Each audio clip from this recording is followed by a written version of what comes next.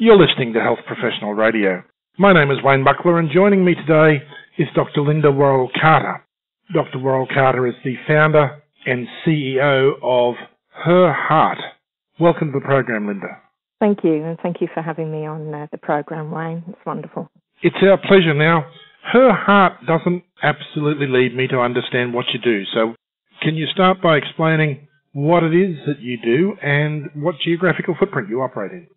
Yes, yes, absolutely. And perhaps just to link it to um, my background too. So, um, at the end of uh, last year, I decided after uh, 15 years of doing research in uh, the area of women and heart disease that uh, perhaps we weren't necessarily needing more research in this area. What we did need is awareness.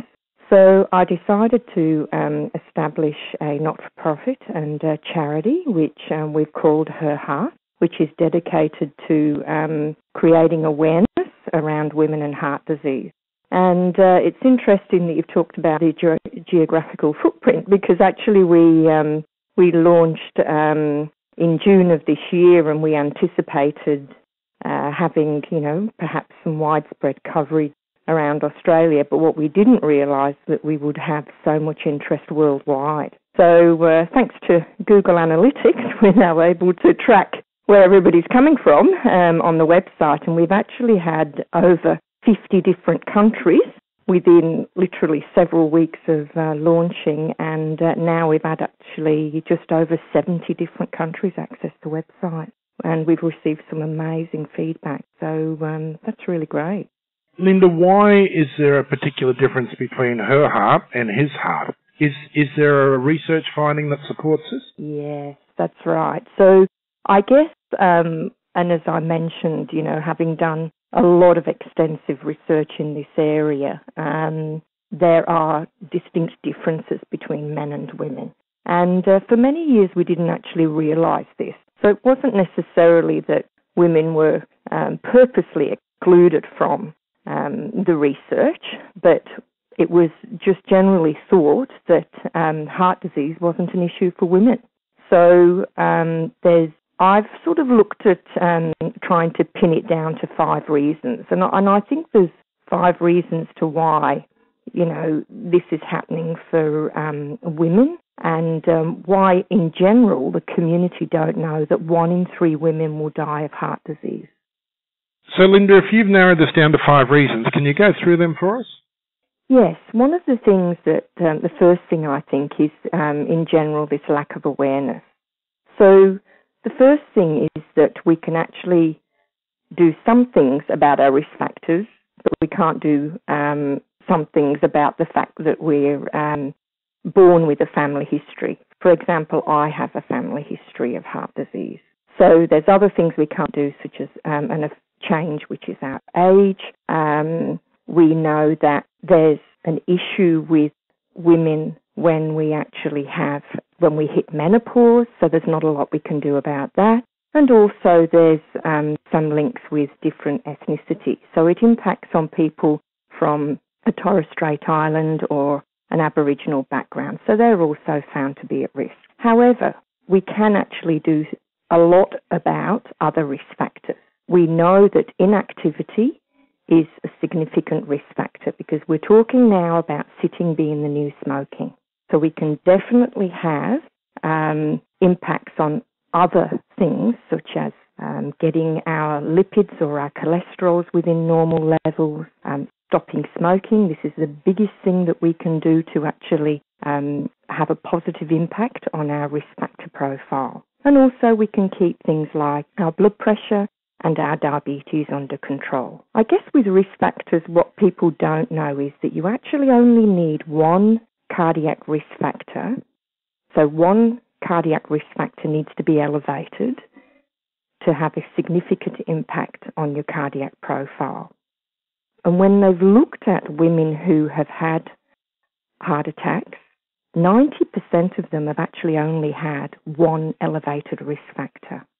And many women in Australia, that's up to 90%, actually have more than one elevated risk factor. So they actually have two or three risk factors. Mm, I see, and, that, and that's got to push their profile right up. That's right. So the second thing that um, I think is really important to note is that there is a difference in symptoms for men and women. And women don't recognize the symptoms. They seem to think they're going to get the same symptoms as men. So that is men t- typically get a lot of chest pain. They get chest pain going down, and this radiates down their left arm. They mm-hmm. feel very sweaty, and it often comes on um, fairly suddenly. Whereas women tend to feel short of breath. They'll often feel very nauseated. Their pain tends to radiate through to their back, up to their jaw, even though they may have some central chest pain. So these difference in symptoms can be quite confusing to women, and also I think sometimes health professionals don't pick them up. Yes, I didn't realise there was such a difference in the way it presented as a disease. That's right, and um, we know now that women also have, you know, differences in their coronary arteries, and I won't go into it, called sort of microvascular disease. So then precipitates women to sort of thinking, well, they don't recognise the signs and symptoms, so they're not as easy be um, easily able to ask for help. And I think that um, some of the work that we have, have done, which I'll, I'll talk about, is um, how health professionals can also have a raised awareness around this. So it's almost a sequential problem because women don't recognise the symptoms and know they're at risk, they delay in getting treatment. So in women that we've interviewed, for example, will say, well, I wasn't really sure. Um, I decided to phone a friend and really what they should be doing is dialing triple zero and going to hospital. Some of the other things they'll do is not prioritise themselves. So they'll say, well, I wasn't really sure. I decided to make sure everything was, you know, organised at home. I had my mother to take to a hospital appointment. I had this and I had that. So they tend to put other people above themselves and really put themselves at risk because of this.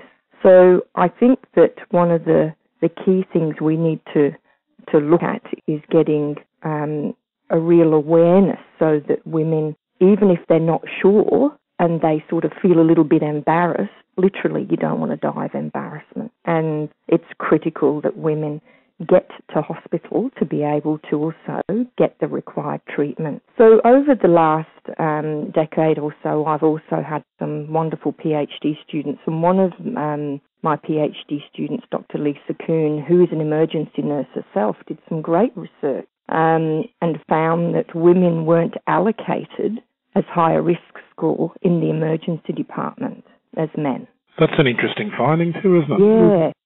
So I think that one of the issues that, that we have is that, you know, health professionals, so what we don't want to be doing is pointing the finger or blaming anyone or saying, well, women don't know this and they don't do that and GPs don't pick it up because that's not helpful at all. Um, what we do want to do is, is highlight where the, the gaps are and um, where we can perhaps increase awareness and um, within our professional colleagues, you know, one of the things is in, in the emergency department, and we know that it isn't just in specifically at one hospital because we um, benchmark the results. Um, Lisa benchmarked this across and looked at this, the data across different hospitals around Victoria, and similarly, women were given a lesser score than men. The offshoot of that is that obviously women are referred for less testing so they're less likely to receive the life saving treatments too.